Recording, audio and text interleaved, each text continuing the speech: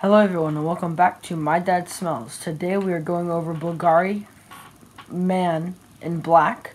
I'm very excited to get into this one. This one has a lot of interesting scents I didn't know about and it has an interesting feature that I can't wait to share with you guys. So let's roll my music.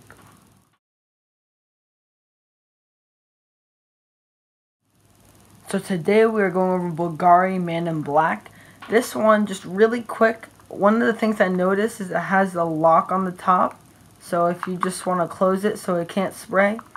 Just something cool I kind of found out. So anyway, this is, it's overall just a very nice scent. It's very spicy. It's woody. It's, there's leather, there's tonka. And I actually, I didn't know what tonka was until very recently. As in like today. I just found out so it looks like an elongated, like dried up raisin, and it's like bigger. So it's it's pretty weird looking, and it smells like freshly cut hay, and also like a bittersweet almond extract put together. So it's it has that scent in there too, which is very interesting. And tonka, the tonka bean is actually meant to like help with confusion and depression.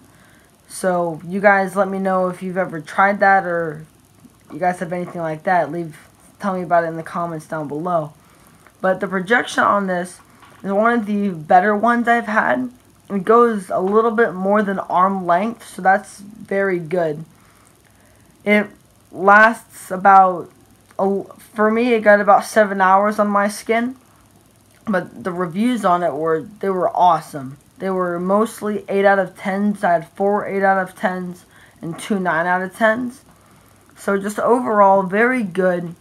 It's, there's rum as well. I kind of got a hint of that um, just a few seconds ago. Leather.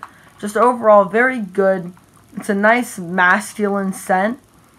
So I would definitely recommend getting this it's you wouldn't find them for more than $90, but at FragranceNet they're around $50. I'll leave a link down in the description below.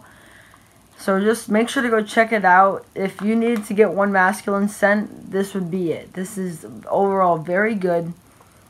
So definitely get this. And please wait for my next upload. I'm getting a package coming in soon with brand new scents. So I'm going to do a first impression video on those. So make sure to go check that out.